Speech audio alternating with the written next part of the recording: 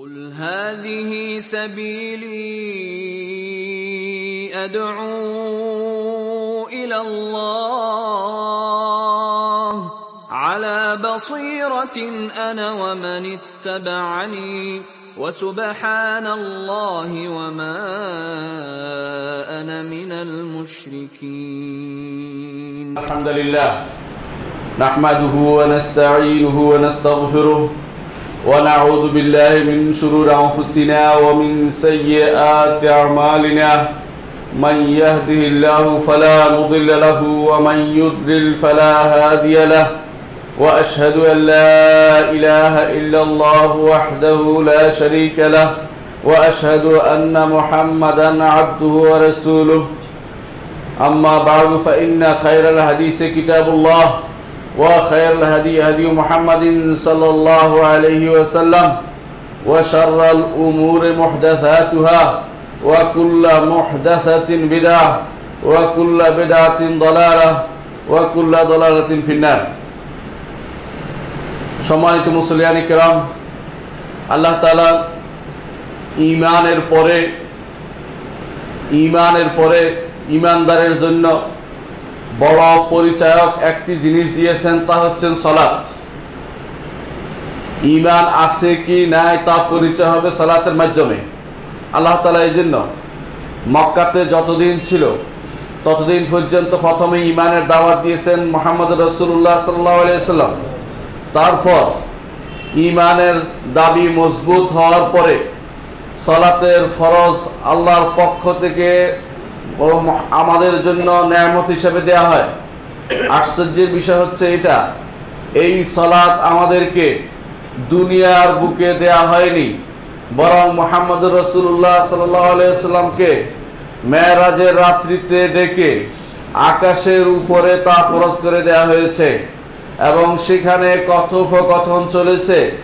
সেই পাঁচ ওয়াক্ত সলাতের মর্যাদা পঞ্চাশ ওয়াক্ত সলাতের মতো।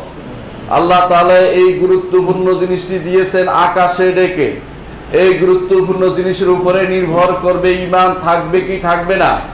রসুল্লাহ সাল্লাম বলেছেন, আমাদের মাঝে এবং কাফেরদের মাঝে পার্থক্য হলো সলাৎ যেই ব্যক্তি সলাৎ ছেড়ে দিবে, সে কাফের হয়ে যাবে।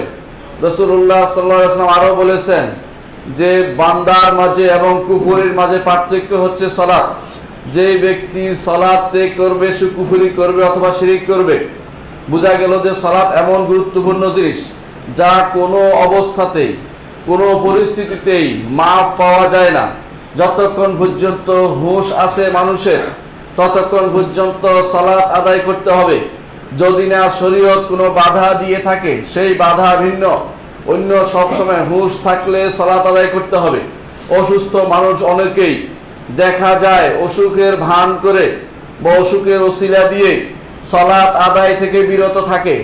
অনেকে মনে করে ভালো হলে সলাৎ আদায় করবে, কিন্তু সেই ভালো কি তার আর কোনোদিন আসবে? সে কি বলতে পারবে? কোনোদিন বলতে পারবে না। সেই জন্য যে অবস্থায় যেভাবে সলাতের সময় হবে, সেই অবস্থায় সেভাবে সলাৎ আদায় করতে হবে। সলাৎ আদায়ের ক্ষেত্রেও আমাদের ত্রুটি রয়েছে। আমরা ঠিক মতো সলাৎ আদায় করতে পারি না। সলাতের ভিতরে বিভিন্ন রকমের সমস্যা হয়। অনেকেই জিজ্ঞাসা করে থাকেন যে, আমার সলাতে একাগ্রচিত্ততা আসে না? আমার সলাতে বিনয় ভাব আসে না? কীভাবে সেটা আনয়ন করতে পারি? আজকে আমরা এই বিষয়টি আলোচনা করব। সম্মানিত মুসলিয়ান কেরাম, আল্লাহ তালা বলছেন ওয়াকুমুলিল্লাহ কানিতিন। তোমরা আল্লাহর জন্য দাঁড়িয়ে যাও বিনয়ী হয়ে। এবং মোহাম্মদ রসুল্লাহ সাল্লাম নিজে সলাতে যখন দাঁড়াতেন, তার কি অবস্থা হতো সেটা অনুসারে আমাদের শিক্ষা গ্রহণ করা উচিত। আল্লাহ তালা কোরআনে করিম আরও বলেছেন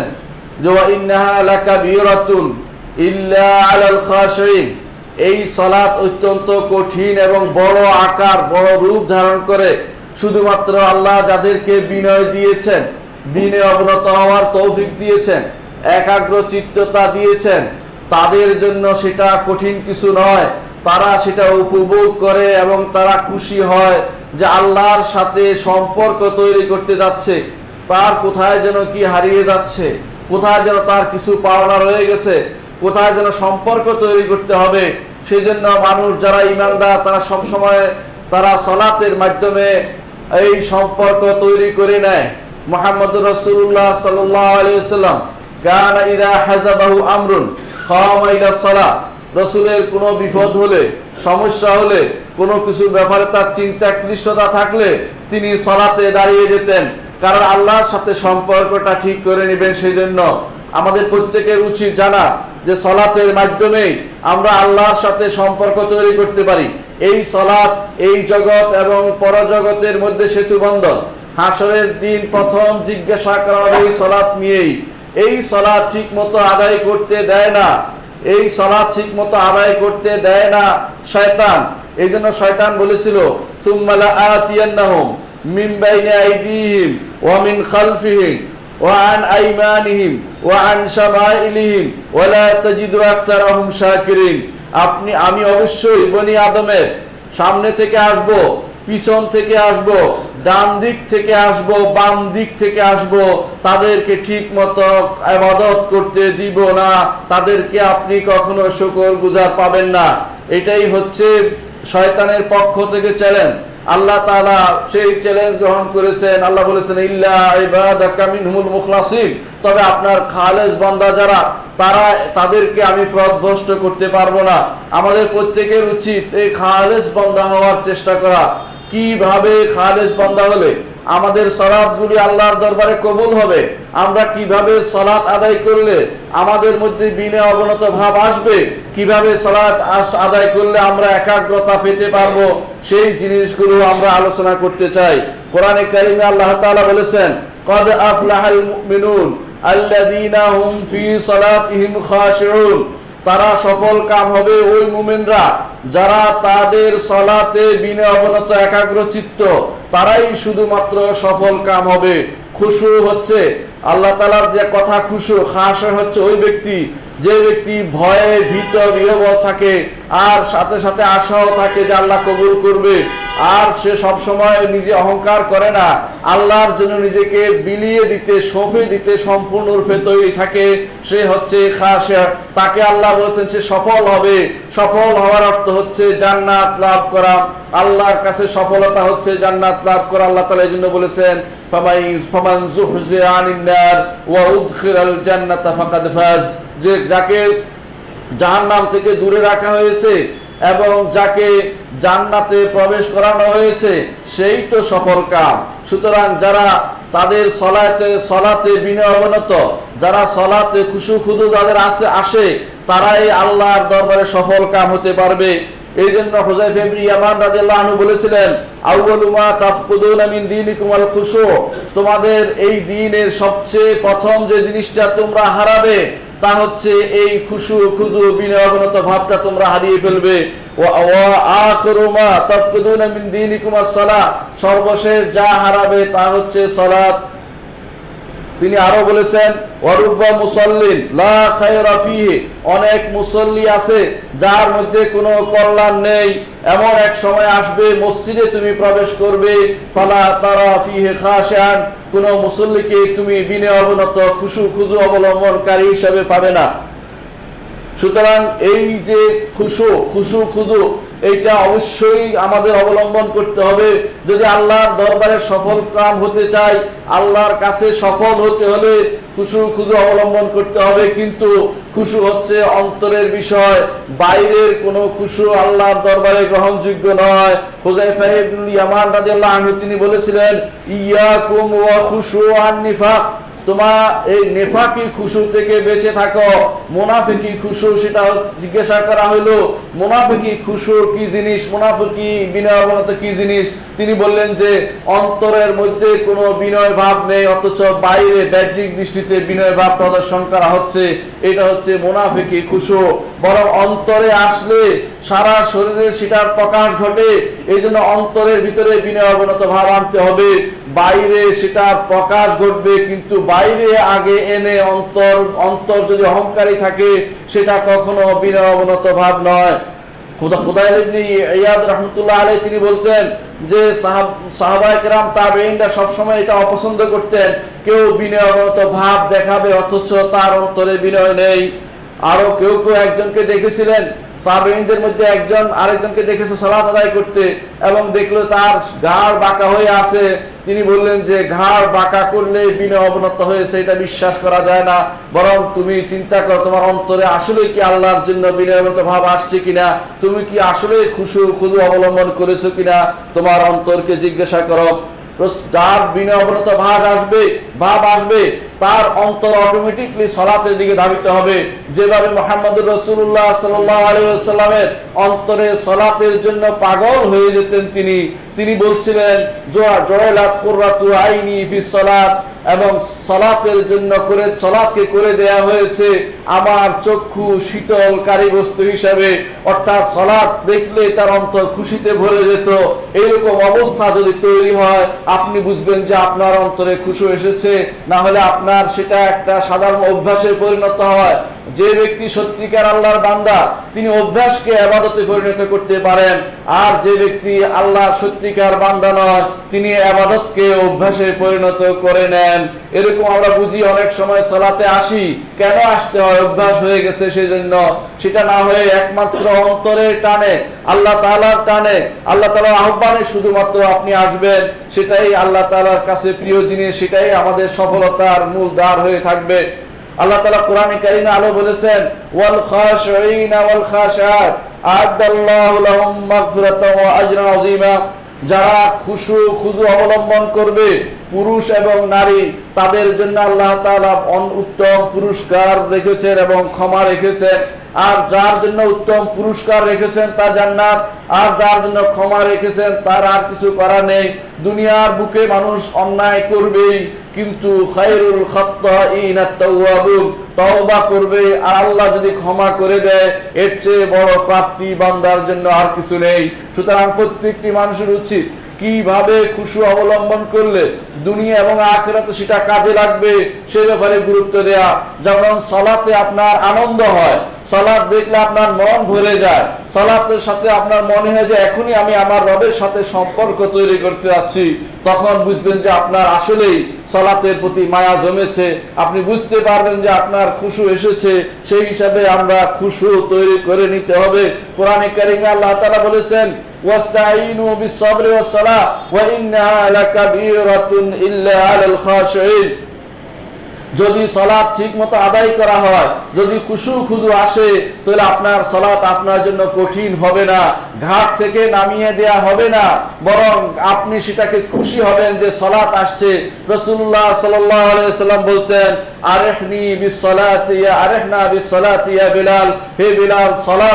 আমার অন্তরে শান্তি দাও।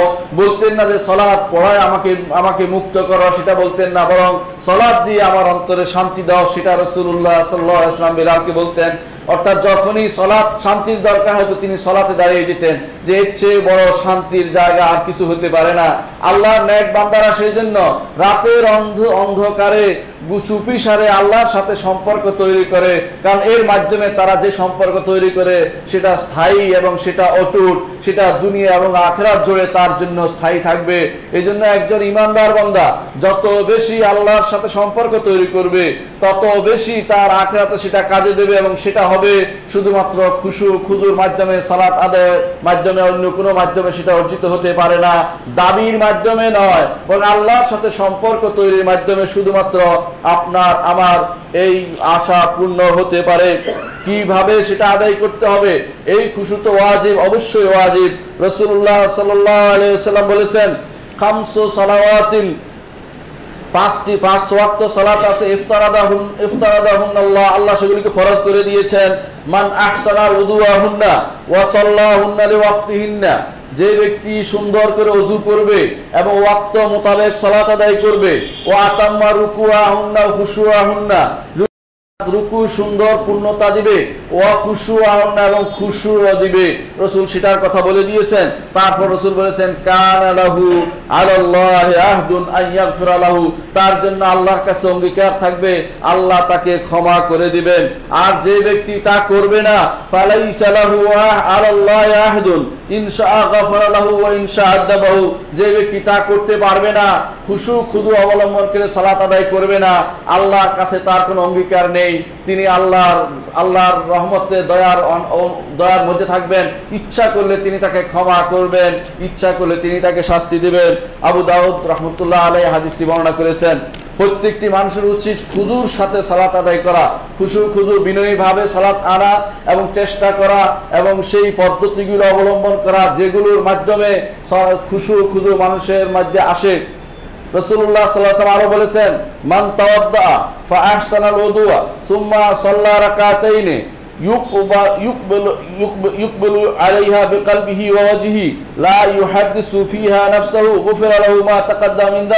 অন্য আসছে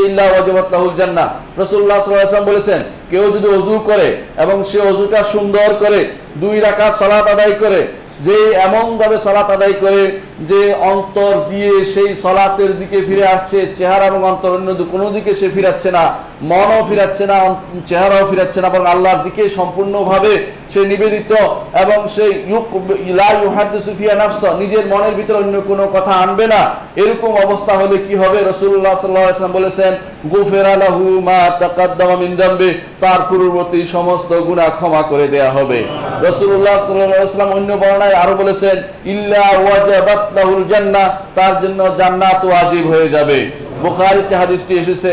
এই হাদিসটির অর্থই হচ্ছে এটা যে আমাদেরকে আল্লাহ তাআলা ক্ষমা করতে চান এবং এই জন্য খুশুস, খুশু খুশু খুদুর মাধ্যমে যদি সলাৎটি আদায় করা হয়, আল্লাহ তাআলার ক্ষমা প্রাপ্তি হোক প্রাপ্ত হব আমরা এবং আমরা জান্নাত লাভ করতে পারব।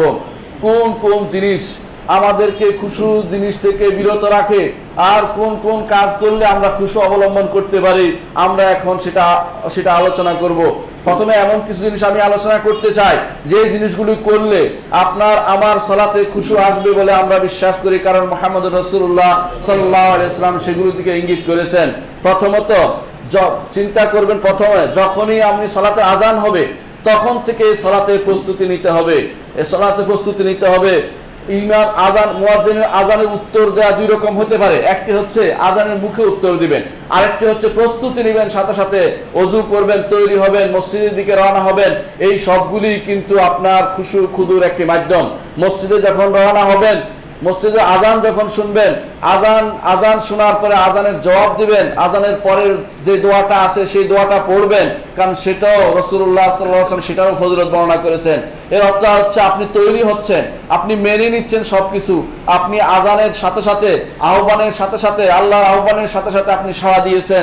আপনি বলতেছেন আল্লাহ রব্বা হাজি দাওয়াতি তাম্মা ওয়াস সালাতিল কাইমা আতি মুহাম্মাদানিল ওয়াসিলাতা ওয়াল ফাদিলা ওয়া বা'থু মাকাম মাহমুদুল ওয়াত্তা যখন এটা বলেছেন, হাদিসে এসে রসুল্লাহ সাল্লাম বলেছেন যে তার জন্য জান্নাত জায়েজ হয়ে যাবে অথবা রসুলের সুপারিশ জায়েজ হয়ে যাবে। দুইটাই রসুল্লাহ সাল্লাম হাদিস বিভিন্ন বর্ণায় এসেছেন। তো বোঝা গেল এই যে দোয়াটা আপনি করলেন এই জন্য আপনি প্রস্তুত হচ্ছেন সলাতের জন্য আগে থেকেই। আপনার মন, মাইন্ড সেট করে নিচ্ছেন। আপনি চিন্তা করছেন যে এখন আমার সলাতের দিকে যেতে হবে। আমার রব আমাকে ডেকেছেন। আমার রবের আহ্বানে আমাকে সাড়া দিতে হবে। আজান এবং একামতের মাঝখানে দোয়া করবেন। কারণ এই সময় দোয়া কবুল হয়। যখনই দোয়া করবেন, মন নরম হবে এবং শয়তানি ওয়াসওয়াসা তখন দূরে চলে যাবে। আর যখন অজু করতে যাইবেন, তারপরে অজু করার শুরুতে সুন্দর করে অজু করবেন। হাদিসে আসছে যেভাবে সুন্দর করে অজু করতে হবে, সাথে সাথে বিসমিল্লাহ বলে অজু করবেন এবং অজুর পরের দোয়াটা মনে রাখবেন আল্লাহ জালনি মিনাত তাওয়াবিন ওয়া জালনি জিকিরটা মনে রাখবেন, যেখানে বলা হয়েছে, আশহাদু আল্লা ইলাহা ইল্লাল্লাহ ওয়াহদাহু লা শারীকা লাহু ওয়া আশহাদু আন্না মুহাম্মাদান আবদুহু ওয়া রাসূলুহু।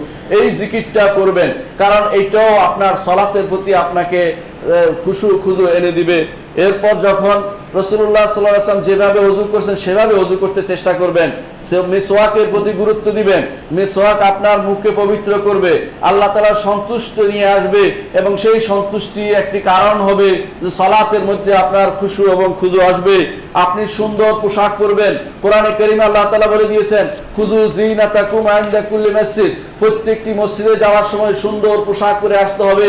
আপনি রব্বুল ইজ্জতের সামনে যাচ্ছেন। দুনিয়ার বাদশার সামনে যাওয়ার সময় আপনি সুন্দর কাপড় পরেন। আল্লাহ রব্বুল ইজ্জতের সামনে যাওয়ার সময় আপনার কত সুন্দর পোশাক থাকা উচিত, সেটা চিন্তা করবেন। এই জন্য রসুল্লাহ সাল্লাম নিষেধ করেছেন, কেউ যেন খেত খামারে কাজ করে এমন পোশাক পরে অথবা সাধারণভাবে বসে থাকে এমন পোশাক পরে চলাতে না আসে, বরং সুন্দর পোশাক পরার জন্য রসুল্লাহ সাল্লাম নির্দেশ দিয়েছেন। আমরা সেই বিষয়টিগুলো খেয়াল রাখব ইনশাল্লাহ যখনই চলাতে আসবেন, আপনার আপনার ঢাকা, যতটুকু ঢাকা দরকার, অতটুকু অবশ্যই ঢাকবেন এমনকি যখন কাঠ খোলা রেখে হাদিসে আসছে রসুল্লাহ সাল্লাম কাঁধ খোলা রেখে সলাত আদায় করতে নিষেধ করেছেন। অনেকে সেন্ডু গাছ গায়ে দিয়ে সেন্ডু গেঞ্জি গায়ে দিয়ে সলাত আদায় করে, সেটা রসুল্লাহ হাদিস থেকে নিষেধ আসতে সেটা করা যাবে না। অনেকে বিভিন্ন রকমের বিভিন্ন রকমের পোশাক পরে যেগুলি দিয়ে শরীর দেখা যায়, সেগুলি করা যাবে না, বরং চেষ্টা করবেন যেগুলি সুন্দর পোশাক, সবার কাছে সুন্দর, যেটা আপনার পরিবারের কাছে সুন্দর এবং সব মানুষের কাছে সুন্দর বলে বিবেচিত হয়, সেটা আল্লাহর কাছেও সুন্দর হবে। তবে যাদের ফিতরত এবং প্রকৃতি নষ্ট হয়ে গেছে, সেটা ভিন্ন কথা। যারা উলঙ্গ থাকতে পছন্দ করে, সেটা কোনো ভালো জিনিস নয়, সেটা তার প্রকৃতি নষ্ট, বিনষ্ট হয়ে গেছে। যখনই সলাতে আসবেন, আগে আগে আসবেন, দৌড়ে আসবেন না, অপেক্ষা করবেন। রসুল্লাহ সাল্লাম বলেছেন যে যে ব্যক্তি সলাতে অপেক্ষা করবে, সে সলাতের মধ্যেই আছে। সুতরাং সলাতের মধ্যে থাকার সে সুযোগ গ্রহণ করবেন। যখনই সলাতে আসবেন, দৌড়ে আসবেন না। রসুল্লাহ সাল্লাম বলেছেন, যখন তোমরা সলাতে আসবে, তখন ধীর স্থির ভাবে আসে, তোমাদের মধ্যে শান্ত ভাব বজায় থাকে। আলাইকুমুসাকিন আত্মসম্মান বোধ যেন থাকে, তোমরা সেভাবে সলাতে আসবে। কারণ একটি মানুষ যখন সলাতে বের হয়, তখন থেকে সলাতে আসে বলে রসুল্লাহ সাল্লাম বলে দিয়েছেন। সুতরাং আমি তো সলাতের মধ্যেই আছি, দৌড়াবো কেন?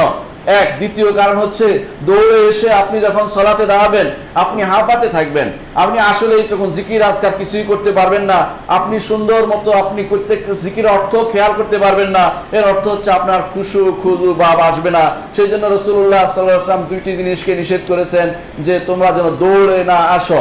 বরং বলছে আলাইকুম সাকিন ওয়াকার যেন আত্মসম্মান বোধ যেন থাকে। দৌড়ে না আসতে রসুল্লাহ সাল্লাহ ইসলাম নিষেধ করেছেন, আত্মসম্মান বোধ বজায় রাখতে রসুল্লাহ সাল্লাহ ইসলাম বলেছেন। দ্বিতীয়ত, যখন সলাত আদায় করবেন তখন অবশ্যই শুরুতেই আপনার, আমার উচিত কাতার সোজা করে নেয়া।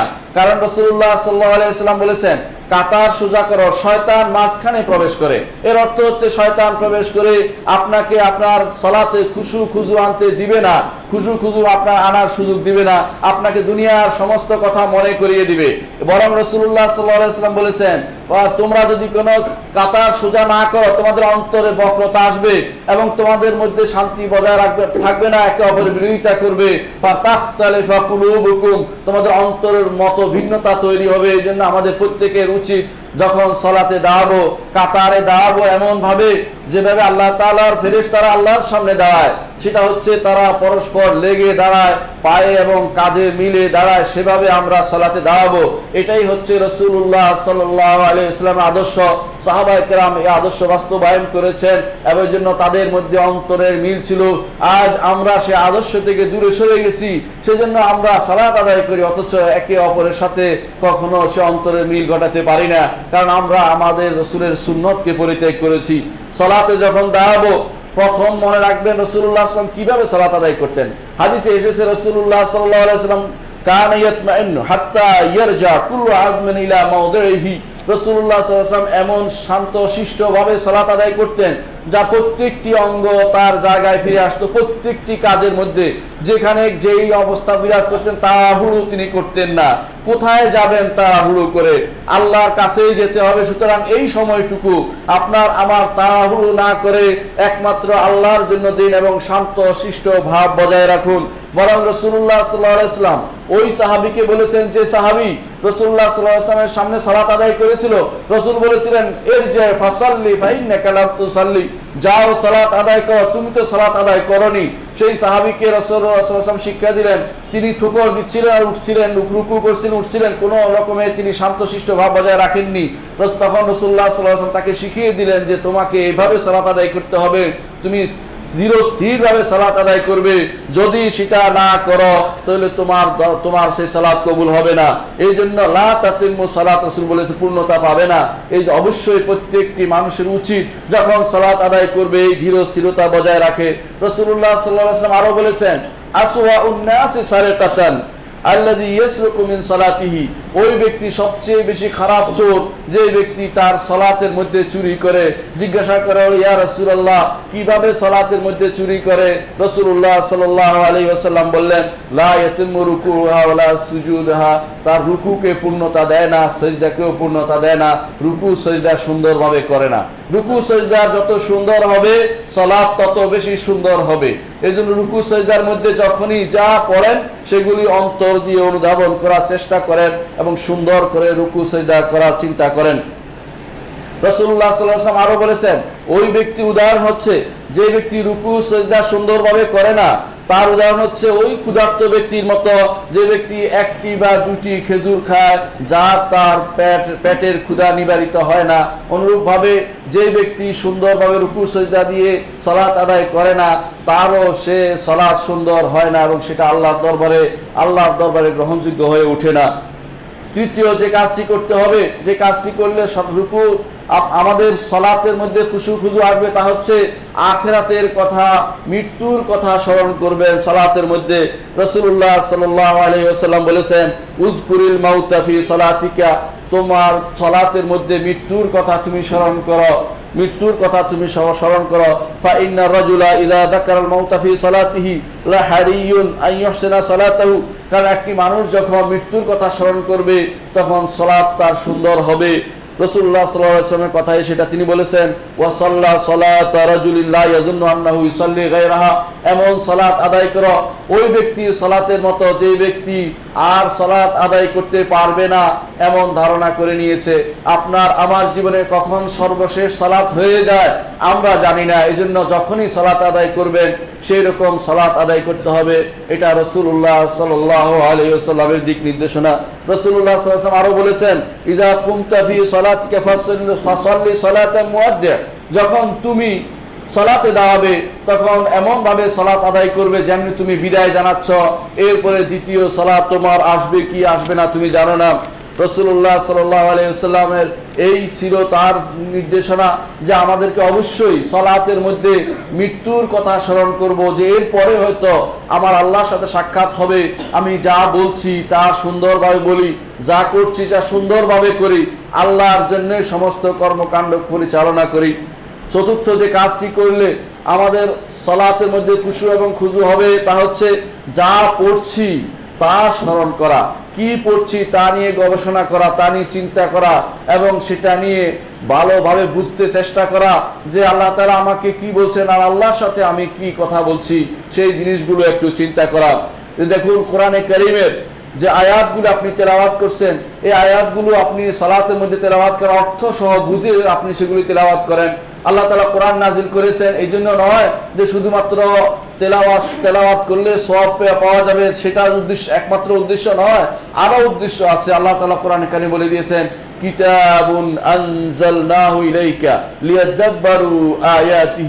আমি এই কিতাব নাজিল করেছি আপনার উপরে যাতে এর নিয়ে গভীরভাবে চিন্তা গবেষণা করা হয় এবং চিন্তা করে অর্থ বোঝার চিন্তা করা হয় বুঝার বুঝতে চেষ্টা করা হয়। এই জন্য আল্লাহ কোরআন নাজিল করেছেন। যখন আপনি পড়বেন, আপনার আমার উচিত এই কোরআন নিয়ে চিন্তা করা। রসুল্লাহ সাল্লাহ আলাইসাল্লাম যেভাবে গবেষণা করতেন, চিন্তা করতেন কোরআন আয়াত নিয়ে, সেইভাবে আমরা কোরআনের আয়াত নিয়ে পড়ব, অর্থ বুঝব।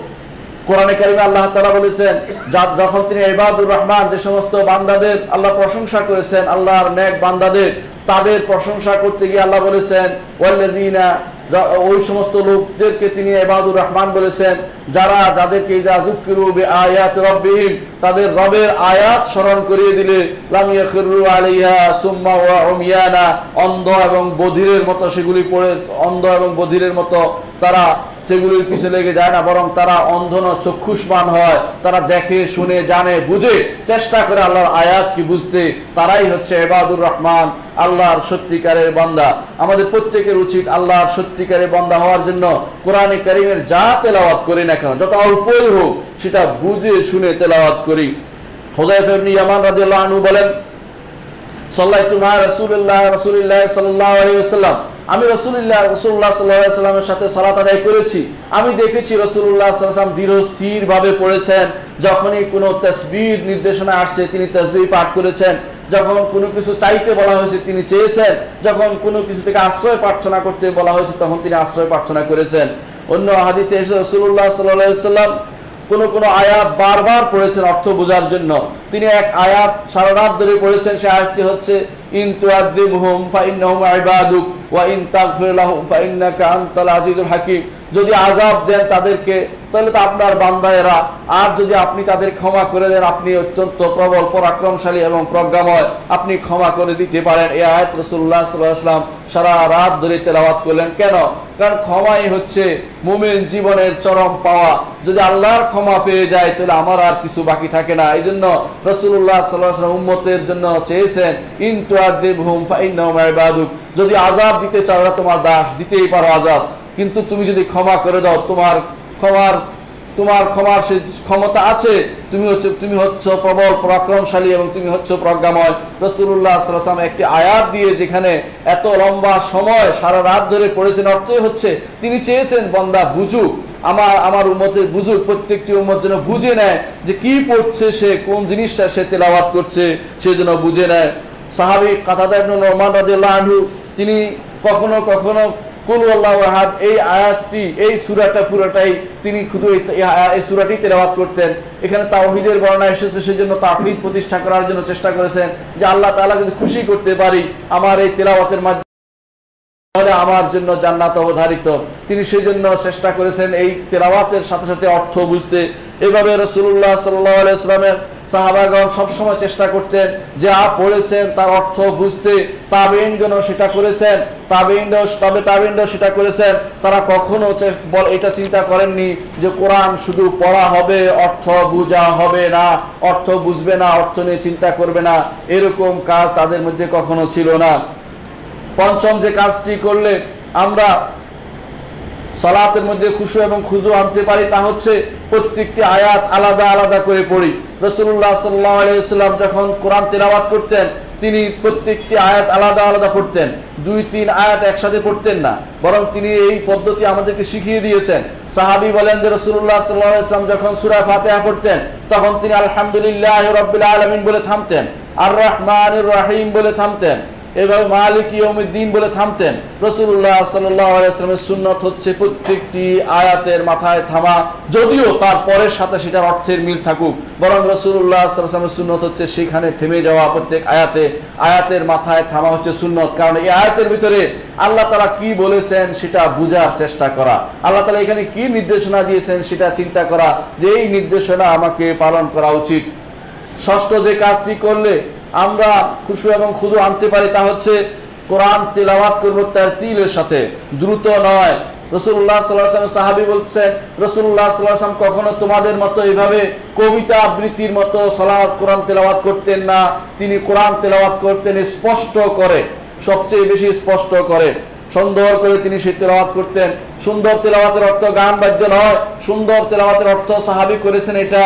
যা অর্থ বোঝা যায়, যেভাবে তেলাওয়াত করলে বোঝা যাচ্ছে যে এই লোকটি কোরআনের অর্থের দিকে চিন্তা দিয়েছে। এই অর্থের চিন্তা করছে। সেই রকম তেলাওয়াত হচ্ছে সুন্দর তেলাওয়াত। কারীদের মতো লম্বা টান দিয়ে মানুষ বাহবা নেওয়ার জন্য সেটা সুন্দর তেলাওয়াত ন উদ্দেশ্য যখনই দেখবেন কোনো মানুষের কেরাতের মধ্যে সে চিন্তা করছে, সেটা অন্যদের উপরে সেটার প্রভাব পড়ে। তখন বুঝবেন যে হ্যাঁ এই লোকটি কোরআন তেলাওয়াত করছে সুন্দর করে, যাতে করে যে এটা কি বলছে সেটা বোঝার জন্য। এবং সেটা যদি আপনি আপনার মন নিবদ্ধ করতে পারেন, আপনি বুঝবেন যে আপনার মধ্যে খুশু এবং খুদু আসবে ইনশাআল্লাহ।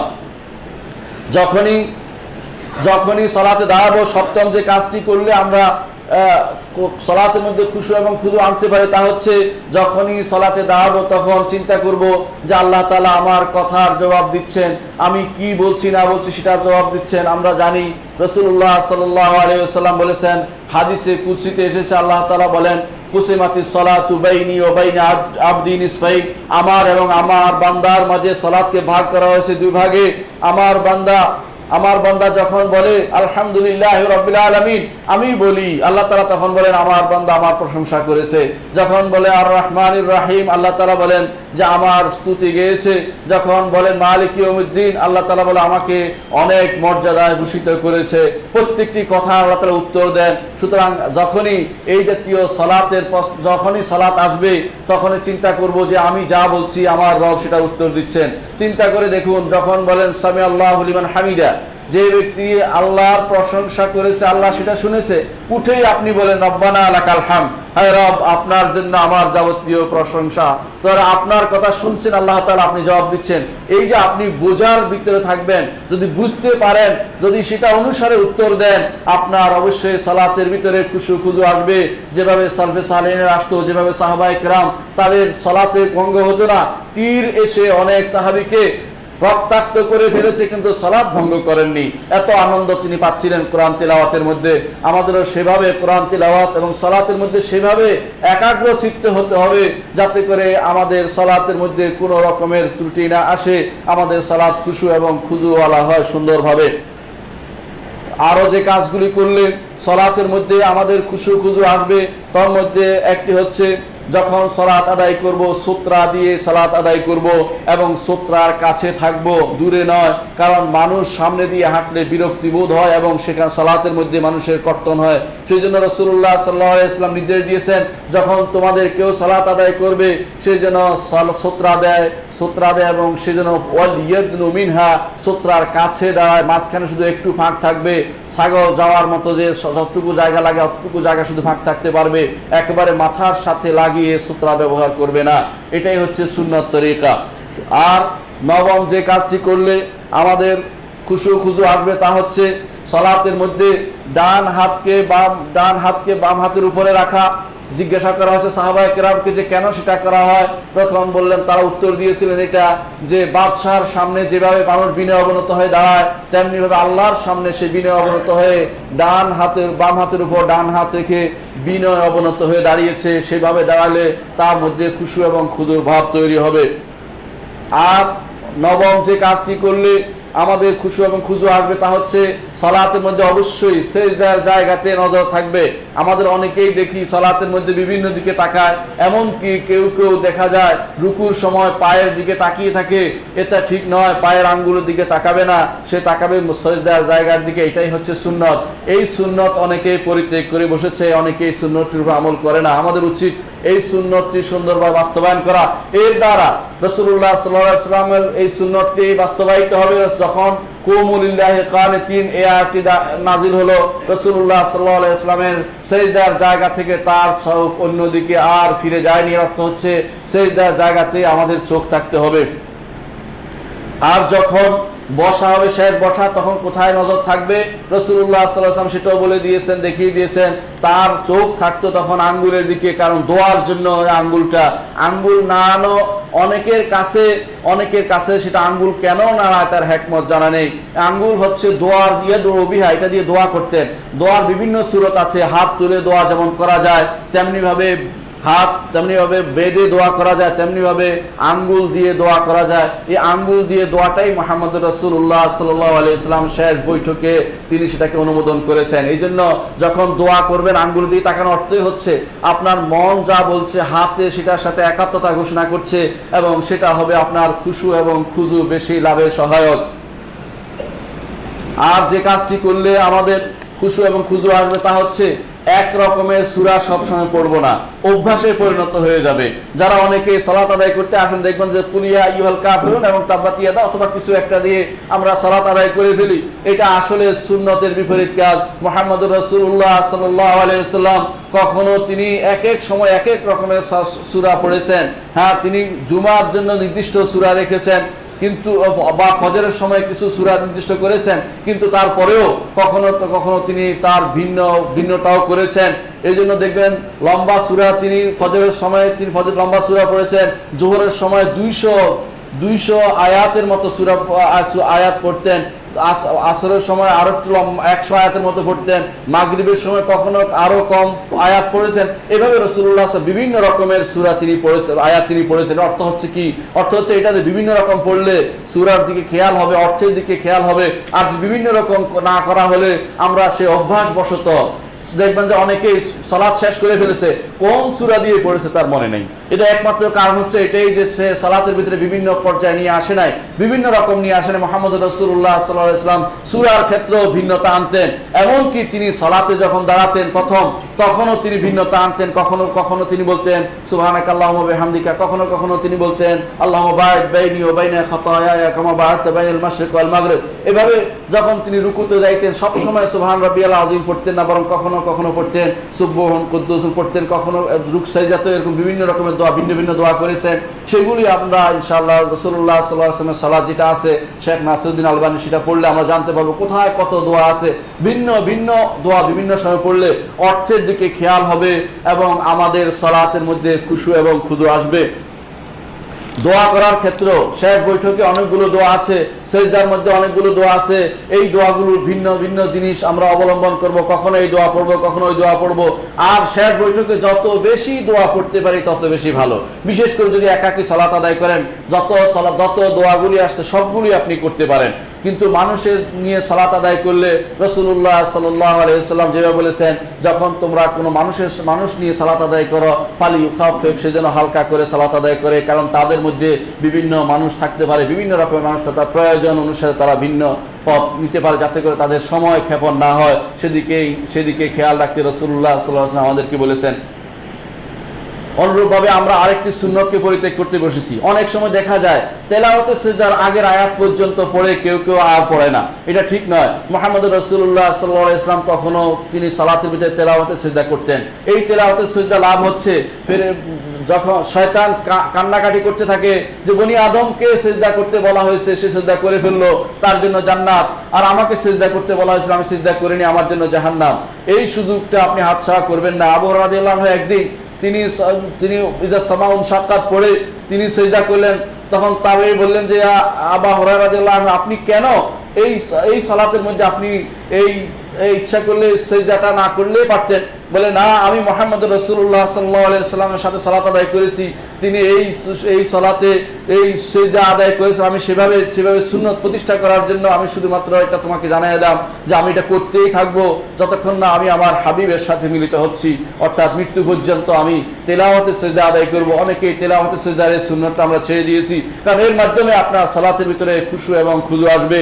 আর বেশি বেশি করে শয়তানের ওয়াসওয়াসা থেকে বাঁচার জন্য চেষ্টা করতে হবে। হাদিসে রাসূলুল্লাহ সাল্লাল্লাহু আলাইহি ওয়াসাল্লাম বলেছেন, এক লোক জিজ্ঞাসা করে রাসূলুল্লাহ, আমার শয়তান আমাকে ওয়াসওয়াসা দেয়। তিনি বলেছেন, বাম দিকে তিন দিন তিনবার থুতু ফেলবে। শয়তানের মিনাশ শাইতানির রাজিম বলবে, তাহলে শয়তানের সেটা চলে যাবে। তার নাম হচ্ছে খেনজিব। সেই শয়তান তোমাকে প্ররোচনা দেয়। শয়তানের প্ররোচনা বাঁচার জন্য আল্লাহর কাছে আশ্রয় প্রার্থনা করতে হবে। সালফে সালহীন কীভাবে সালাত আদায় করছেন সেটা শিখতে হবে। আর জানতে হবে যে সালাতের মধ্যে খুশু অবলম্বন করলে আমাদের কী লাভ? রসুল্লাহ সাল্লাহ ইসলাম আমরা আগেও বলেছি, রসুল্লাহ সাল্লাহ বলেছেন যে আগের সমস্ত গুণাগুলি ক্ষমা করে দেওয়া হয়, খুশু থাকলে। অনুরূপভাবে খুশু না থাকলে মানুষের যতটুকু মানুষ আমল করেছে, যতটুকু তার জ্ঞান ছিল, অতটুকু কবুল হবে। আপনি একশো রাখাত সলাদ আদায় করেছেন, কিন্তু আসলে আপনি কোনোটাতেই খুশু অবলম্বন করতে পারেননি। রসুল্লাহ সাল্লাহ আলাইসলামের সাহাবি আবু- ইবনে আব্বাস বলেন যে, তোমার সালাতের অতটুকুই কবুল হবে, যতটুকু তুমি বুঝেছ। যতটুকু বুঝে করেছ ততটুকুই শুধুমাত্র কবুল হবে। অন্য এক হাদিসে রসুল্লাহ সাল্লাহ আলাইসাল্লাম বলেছেন, দুজন মানুষ সালাত আদায় করে, এর মধ্যে বিরাট পার্থক্য হচ্ছে এরকম কারও দশ ভাগের এক ভাগ কবুল হয়, কারও বা নয় ভাগের এক ভাগ, কারও আট ভাগের এক ভাগ, কারও সাত ভাগের এক ভাগ। বলতে বলতে তিনি বলেছেন, কারও অর্ধেক কবুল হয়, কারও বা পূর্ণ সালাদ কবুল হয়। বোঝা গেল যে কবুল হওয়ার বিষয় এই খুশু এবং খুজুর বিরাট দখল রয়েছে। এই জন্য প্রত্যেকটি মানুষের উচিত খুশু খুজু কীভাবে আসে, সে তা নিয়ে চিন্তা করা। আরও চিন্তা করা চিন্তা করা উচিত যে বেশি বেশি করে দোয়া করা। দোয়া যদি করেন, দোয়ার সময়টা আপনার কেটে যাবে, আর শয়তান সেখানে ওয়াসওয়াসা দেওয়ার সুযোগ থাকবে না। আর সলাতের পরে যে আজকারগুলো আছে, সে আজকারগুলো পড়বেন, কারণ সেগুলো আপনার সলাতের পূর্ণতা দান করবে। আরেকটি কাজ আমাদের করা উচিত তা হচ্ছে যে সলাতের, এই সলাতের সাথে সুন্নত, নফল সলাত যেগুলো আছে, সেগুলো আদায় করা। কারণ সলাতে যদি কোনো ঘাটতি হয়, নফল সলাত দিয়ে তা পূর্ণতা দেয়। রসুল্লাহ সাল্লাহ আলাইসলাম তা বলেছেন এখন এমন কিছু জিনিসের কথা আমি বলব যেগুলি পরিত্যাগ করেন, যেগুলি পরিত্যাগ করার জিনিস, যেগুলি পরিত্যাগ করলে আমাদের সলাতে খুশু এবং খুজু আসবে। সংক্ষিপ্তভাবে আমি সেটা বলছি, এমন কোনো পোশাক করবেন না, যেই পোশাকের মধ্যে দিকে বারবার তাকাবেন। বারবার তাকাবেন, এত সুন্দর পোশাক, আমার এত সুন্দর সুন্দর পোশাক, আমার এটা হয়েছে, এরকম জিনিস আসলে সেটা থেকে ফিরে, সেটা থেকে অবশ্যই প্রত্যাবর্তন করবেন। অথবা এমন কিছু যদি আপনার সামনে থাকে, যার দিকে চোখ যায়, সেটাকে অবশ্যই সরিয়ে নেবেন। মোহাম্মদ রসুল্লাহ সাল্লাহ ইসলাম ঘরের ভিতরে দেখলেন যে একটি সুন্দর পর্দা লাগানো হয়েছে। বারবার তার চোখ যাচ্ছে। তিনি বললেন যে আয়সা এটাকে অবশ্যই সরিয়ে নাও। আমার রবের থেকে আমাকে ফিরিয়ে রাখছে এই এই পর্দা। এই পর্দা সরিয়ে নাও। এই পর্দা আমাকে আমার রব থেকে বিরত রাখছে। রসুল্লাহ সাল্লাহ ইসলাম একদিন সুন্দর একটি পোশাক পরলেন, যার মধ্যে সুন্দর দাগ দেয়া ছিল, আলাম ছিল, দাগ ছিল। তিনি বললেন যে সালাতে, সলাত আদায় করার পরে তিনি বললেন যে, এই কাপড়টি আবু জাহামকে দিয়ে আসো, আবু জাহামের কাপড়টা আমার জন্য নিয়ে আসো, কারণ এই সলাত আমাকে আমার রব থেকে দূরে সরিয়ে দিচ্ছিল। অর্থাৎ যেই জিনিস, যেই কাজ আল্লাহ থেকে দূরে সরিয়ে দেয়, এমন প্রত্যেকটি জিনিস থেকে সলাত আদায়ের সময় দূরে থাকতে হবে, প্রচেষ্টা চালাতে হবে। কখনো কখনো আমাদের পেশাব পায়খানার ব্যাগ হয়, মনে করি সলাত আদায় করে আমরা বাকিটা সারবো, এটা করবেন না। বরং আপনি সলাৎ আদায় করার আগেই সেটা সেরে নেবেন। কারণ রসুল্লাহ সাল্লাহ বলেছেন লাইসাল্লি আহাদুকুম হাকিনুন আও হানেকুন।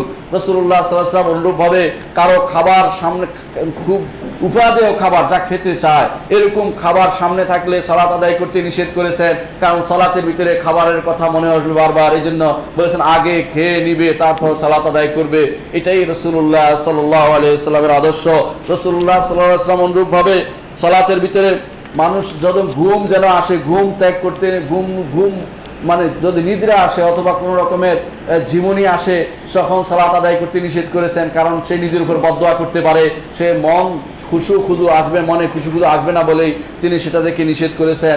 অনুরূপভাবে আরও বেশ কিছু নিষেধাজ্ঞা হাদিসে এসেছে, যেগুলি থেকে আমাদের দূরে থাকতে হবে। সবচেয়ে বড় জিনিস হচ্ছে মনে রাখতে হবে যে খুশু খুজুর জন্য আপনার প্রচেষ্টা চালাতে হবে।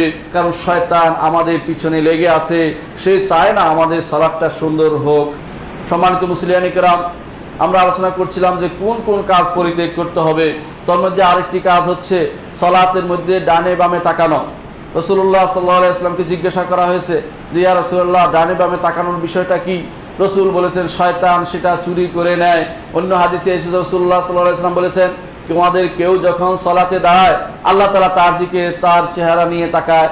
যখন অন্যদিকে তার মন চলে যায়, মুখ চলে যায়, তখন আল্লাহ তালা তার থেকে মুখ ফিরিয়ে নেন। নাউজুবিল্লাহ আলিক এই কঠিন অবস্থা আমাদের যদি বিরাজ করে, আমরা মন, অন্তর যদি অন্যদিকে ফিরিয়ে দেই যদি সলাতের মধ্যে যদি আমরা গুরুত্ব সহকারে মনোনিবেশ করতে না পারি, আল্লাহ তালা আমাদের মনোনিবেশ করবেন না। আল্লাহ তালা আমার সলাতে দাঁড়িয়েছি, আল্লাহ তালা আমাদের জন্য তিনি তার চেহারা নিয়ে আমাদের দিকে তাকিয়ে আছেন। আমরা যদি কোনো অন্যদিকে না তখন না তাকাবো, আল্লাহ মুখ ফিরিয়ে নেবেন না। এই সুযোগটা আমরা কখনো সদ্ব্যবহার করব না। রসুল্লাহ সাল্লাহ অনুভাবে নিষেধ করেছেন, তোমাদের কেউ যেন আকাশের দিকে না তাকায়, আকাশের দিকে তাকালে আমাদের সেই এই খুশু ক্ষুদু ভাবটি থাকবে না, সেটার প্রতি আমাদের প্রচেষ্টা চালাতে হবে। সর্বোপরি যে সমস্ত কাজ রসুল্লাহ সাল্লাম নিষেধ করেছেন সালাতের আগে, পরে, তার সময়ে সেগুলি থেকে দূরে থাকতে হবে এবং যেগুলির প্রতি রসুল্লাহ সাল্লাম গুরুত্ব দিয়েছেন সেগুলি আমাদেরকে গুরুত্ব দিতে হবে। তাহলে অবশ্যই ইনশাল্লাহ আমাদের সালাতে খুশু এবং খুজু ভাব থাকবে।